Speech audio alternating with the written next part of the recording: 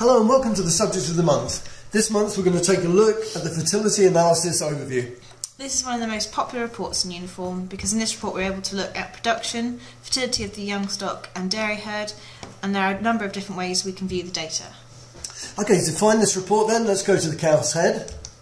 Let's select number three, fertility, and then number one, the overview. Now what we're doing here is we're looking at the herd's performance over a period of time. So in this case, the default setting normally will be the last 12 months.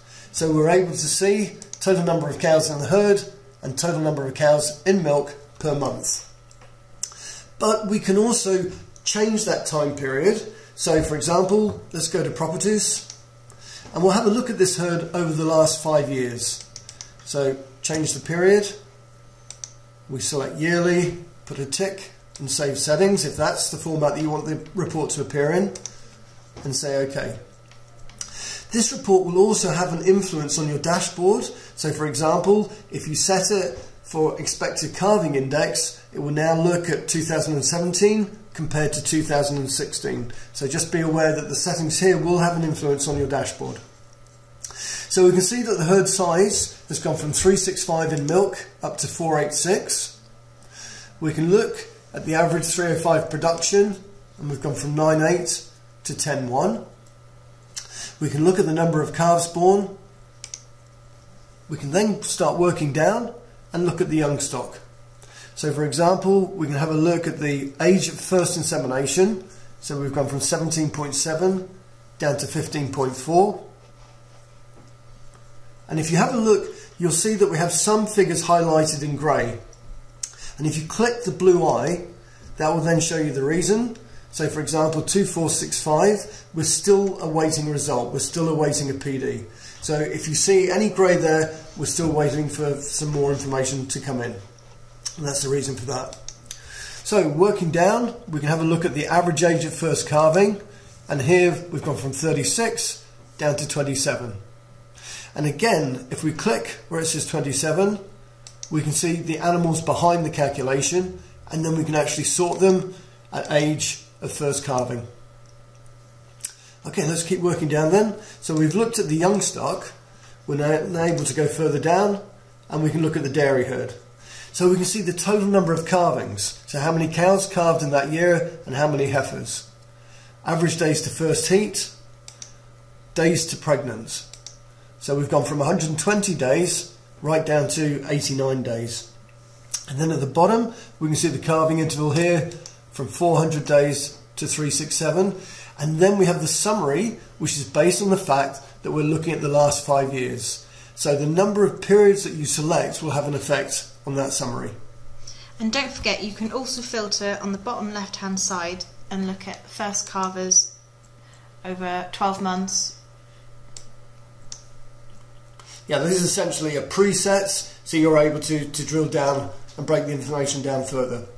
So I think this is a really important report in your program. Just be aware that using properties, you can define the date range, the period that you're actually going to look over. And if you have any questions on it, as ever, please call the help desk and we'll happily take you through it.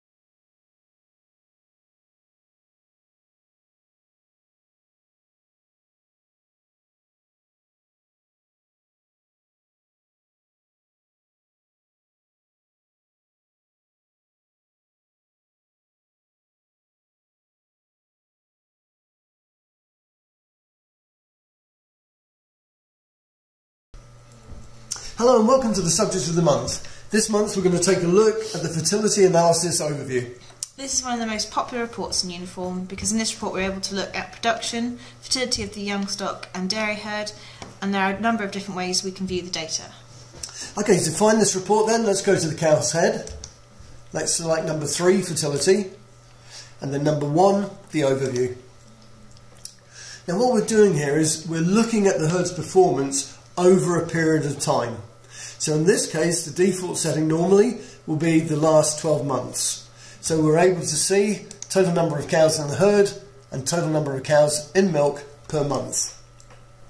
But we can also change that time period. So for example, let's go to properties and we'll have a look at this herd over the last five years.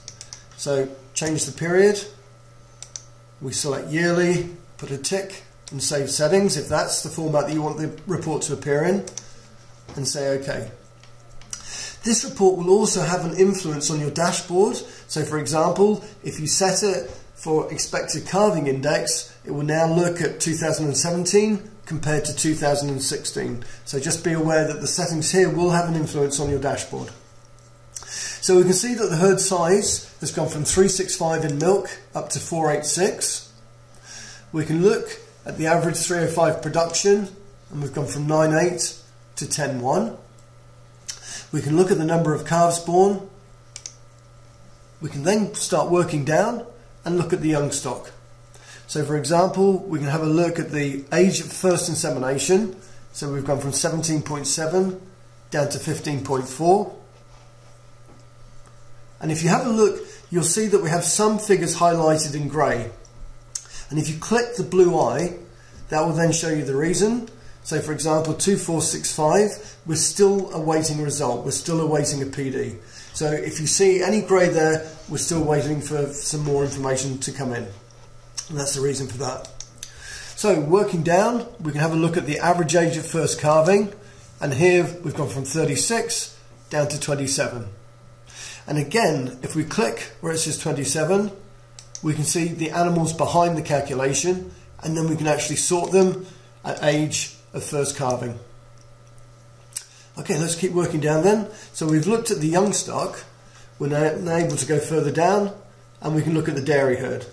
So we can see the total number of calvings. So how many cows calved in that year and how many heifers. Average days to first heat, days to pregnant. So we've gone from 120 days right down to 89 days. And then at the bottom, we can see the calving interval here from 400 days to 367. And then we have the summary, which is based on the fact that we're looking at the last five years. So the number of periods that you select will have an effect on that summary. And don't forget, you can also filter on the bottom left hand side and look at first calvers over 12 months.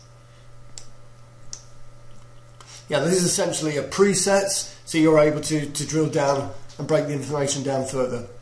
So I think this is a really important report in your program. Just be aware that using properties, you can define the date range, the period that you're actually going to look over. And if you have any questions on it, as ever, please call the help desk and we'll happily take you through it.